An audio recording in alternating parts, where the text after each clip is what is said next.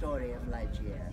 There is a wonderful poem that was actually written by Ligeia as she was dying.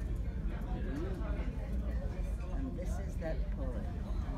Lo, tis a gala night within the lonesome later years.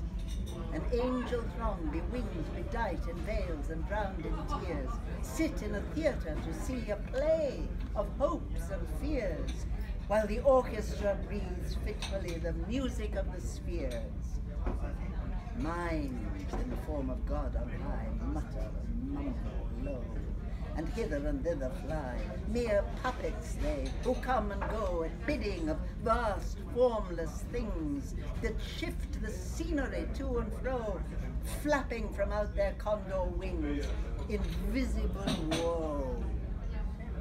That motley drama, oh, be sure it shall not be forgot, with its phantom chased forevermore by a crowd that sees it not, through a circle that ever turneth into the self-same spot, and much of madness and more of sin and horror, the soul of the plot.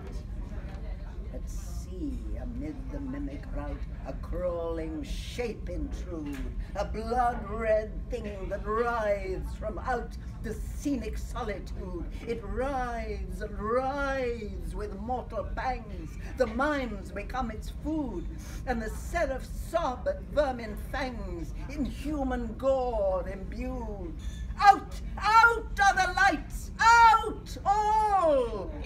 And over each quivering form, the curtain, a funeral pall comes down with the rush of a storm and the angels, all pallid and wan, uprising, unveiling, affirm that the play is the tragedy man, and its hero, the conqueror worm.